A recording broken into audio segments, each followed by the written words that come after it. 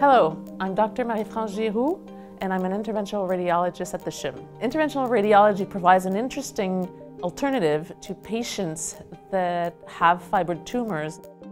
Uterine fibroids are non-cancerous tumors that are very common in women, especially uh, at 35 years old and older.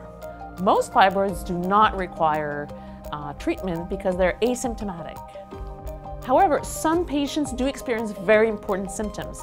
Um, they can have pain either in their abdomen, in their back, sometimes in the legs.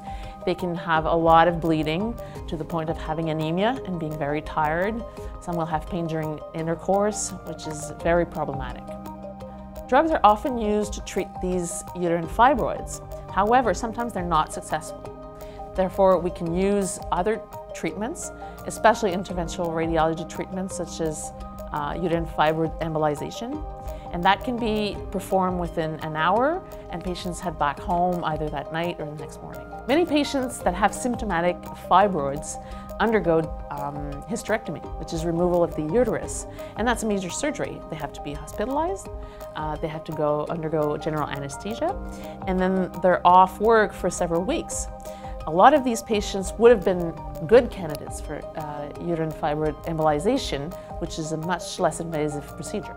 Um, for interventional radiology procedures, and specifically for uterine fibroid embolization, um, patients go home either that night or the next morning, and they can go back to work within about two weeks.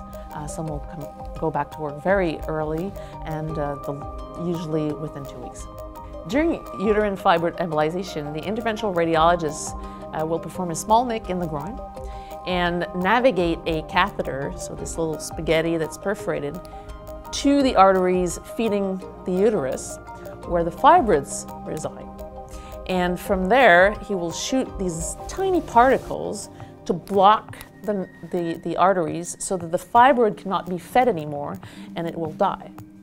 We use live x-ray to see this navigation and control what we're doing.